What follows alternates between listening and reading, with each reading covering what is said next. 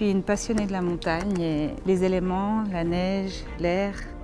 Et aujourd'hui, euh, j'ai la chance de pouvoir coupler mes plus belles passions, le vol et la montagne, avec euh, cette petite machine, parce que mon rêve, c'était euh, depuis toujours d'être pilote d'avion.